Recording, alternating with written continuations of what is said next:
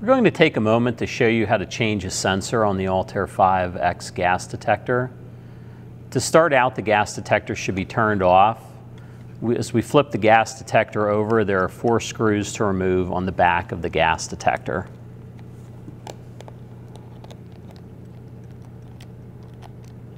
Once we've loosened these screws, we can first remove the battery pack and set that aside.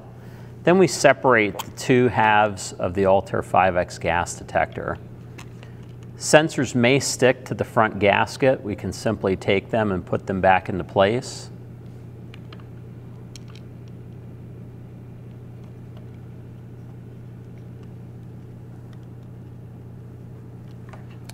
If this were the sensor that we wanted to remove because it had failed a calibration test, we'd simply pull out that sensor, set it aside, get a new sensor, and note that the sensors themselves are physically keyed, so they fit in that slot in only one, one manner.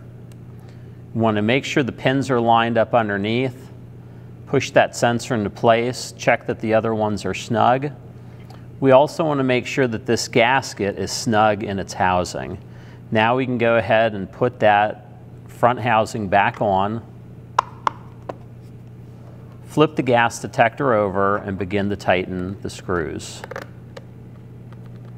For tightening them, you want it to be hand snug and you do want them to be tight, but you do not want to over, overly bear down on the screws.